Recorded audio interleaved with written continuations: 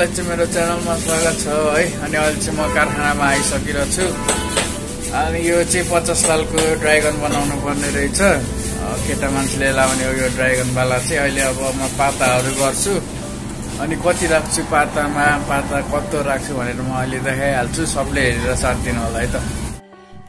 मैले चाहिँ ड्राइगनको पाताहरू गरिसकेँ है। अनि त्यसपछि यसको चौडाइ चाहिँ मैले दुईमा छ लाइन जति बेसी बेसी छ अनि पुच्छरको भाग चाहिँ एकमा आठ लाइन छ है। अनि त्यसपछि लम्बाइ चाहिँ साढे आठ छ है। अनि त्यसपछि यो पुच्छरको भाग चाहिँ त्यही अनुसार राखेको छु। अब चाहिँ म खाल्न सुरु गरेँ है त। यसरी खाल्यो भने चाहिँ कोक्राउन पनि सजिलो हुन्छ अनि सफा पनि हुन्छ है। अनि टाउको भाग पनि अलिकति फुल्ले जस्तो हुन्छ र त्यही भएर राम्रो देखिन्छ है। त्यही भएर म चाहिँ यसरी गर्छु। हजुरहरूले नै यसरी नै गर्ने कोसिस गर्नु होला है त। यति मजाले खाली सकिने त्यसपछि चाहिँ अब भल खाने छिनले चिल्लाउनु पर्छ है हामीले यसलाई तन्काउँदै तन्काएपछि चाहिँ खुम्चीको भागहरू जान्छ त्यसपछि मजाले यसरी चिल्लाउने। मैले त्यो अघि नै थालेको ड्राइगन चाहिँ अब पर्सितिर दिँदा हुन्छ अरे। अब चाहिँ एउटा पञ्चरत्नी थाल्नु पर्नेको सालको बच्चाको। अब चाहिँ म त्यो पञ्चरत्नीको लागि थाल्छु है। त्यो अघिको ड्राइगन चाहिँ यो भइहाल्यो। अब यही सुनबाट पञ्चरत्नीको लागि पाताहरू पेल्छु अनि देखाउँछु कि त कस्तो हुन्छ भनेर हजुरहरूलाई। मैले चाहिँ पञ्चरत्नीको पाता गरिसकेँ है अनि यसको लम्बाइ चाहिँ साढेतिर राखेको छु दुइटामा गरेर। बच्चाको एक जोडी हो त्यही भएर है। अनि त्यसपछि चौडाइ चाहिँ दुईमा दुई लाइन छ। अनि त्यसपछि यसको पुच्छरको भाग चाहिँ एकमा छ लाइन बेसी छ है। अनि बच्चाको पञ्चरत्नीहरू चाहिँ यही अनुसार राखिन्छ प्रायः अब वेट अनुसार तल माथि भइरहेको छ। अनि यसको पातामा चाहिँ मैले सत्र लाल आठ पोइन्ट जति राखेको छु है। हेर्न सक्नुहुन्छ।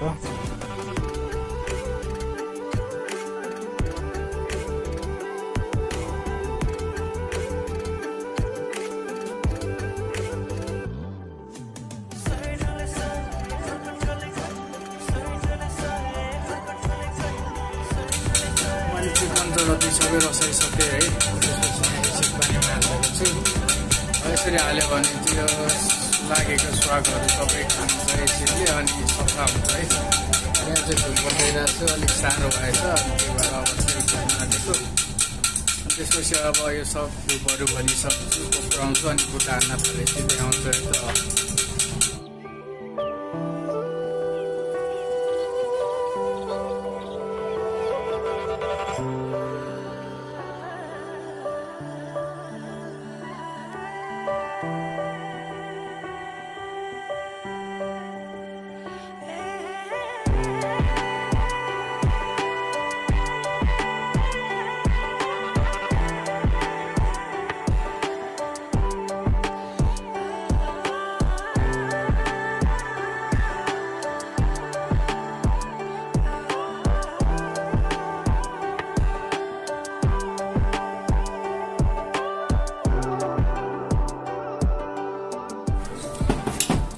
मैले यो राखेको थिएँ यो सेलाइसकेँ है अब चाहिँ बुट्टा हान्न सुरु गर्छु। अब बुट्टा हानेपछि चाहिँ देखाउँदैछ कसरी हान्ने भनेर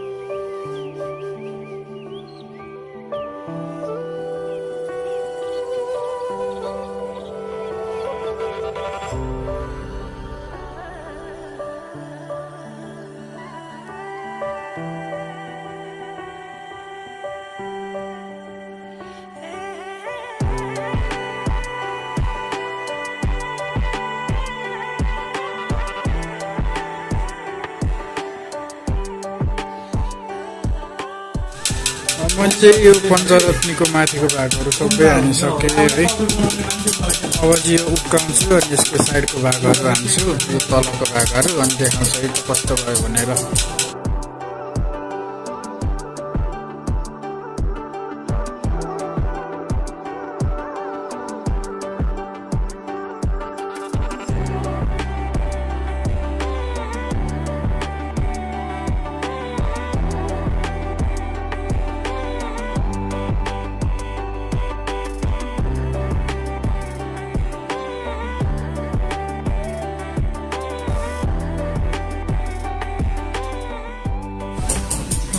फाइनल्ली मैले चाहिँ यो हानिसकेँ है। अब चाहिँ यो चड्काहरू गर्छु अनि त्यसपछि यो मुख बनाएर यहाँ मुख लाउँछु अनि त्यसपछि फिटिङ गरेर देखाउँछु है त। मैले चाहिँ यो पञ्चरत्नीको मुखहरू लगाइसकेँ है। अब चाहिँ चड्का गर्छु अनि त्यसपछि फिटिङ गरेर देखाउँछु है त कस्तो हुन्छ। यो पञ्चरत्नीमा गेरुहरू लगाइसकेँ है अब फिटिङ गर्छु अनि त्यसपछि चपडा तानेर रेडी छ। अनि यो बालाको पनि ठ्याक्क सेपहरू मिलाइसकेँ यसरी फर्काउने एकपट्टि है अनि फिटिङ गर्न सजिलो हुन्छ अब चाहिँ म फिट गरेर देखाउँछु है त।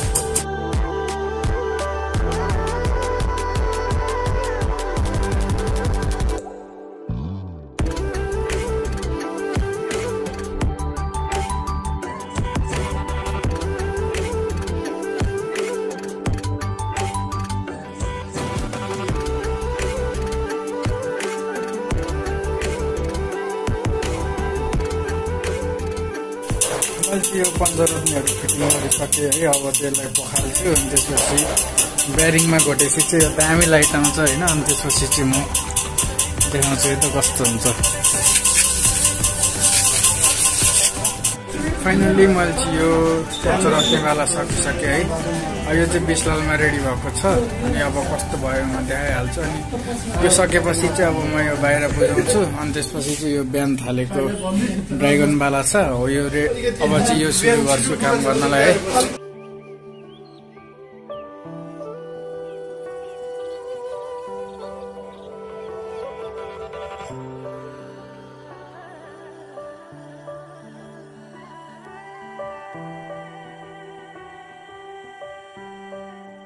मैले चाहिँ अघिको त्यो पञ्चरत्न बुझाएँ है। अनि त्यसपछि यो ड्रागन बालामा यो कुप्राएँ रस आयो अनि यो धुपहरू भरिसकेँ अब चाहिँ यो बुट्टा हान्न थाल्छु है त। बुट्टा हान्नलाई चाहिँ अब यसमा गाड्छु सुरुमा। टक्क गाडिसकेपछि चाहिँ अनि बुट्टा हान्न सुरु गर्छु अनि कस्तो भयो देखाइहाल्छु नि।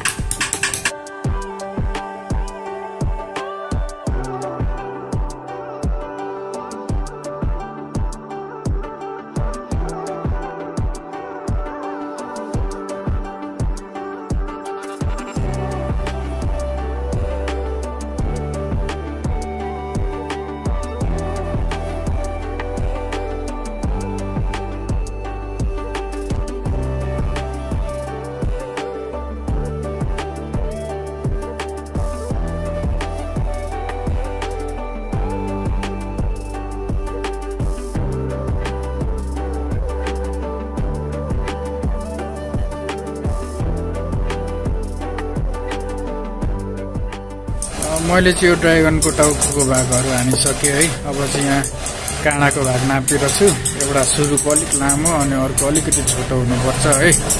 अनि अब चाहिँ म यो काँडाहरू हान्छु अनि त्यसपछि कस्तो हुन्छ अनि फिनिसिङ गरेर देखाउँछु है त।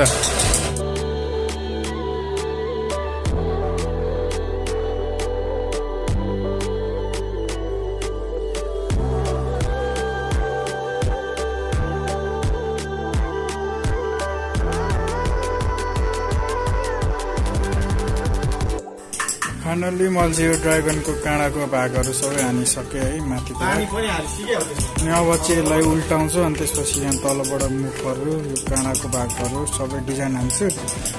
अनि अहिले चाहिँ अब यति मात्र भयो अरू चाहिँ भिडियो भोलि हाल्नेछु है। अनि अब चाहिँ म खोज्न त्यही भएर आजलाई यति मात्र है त।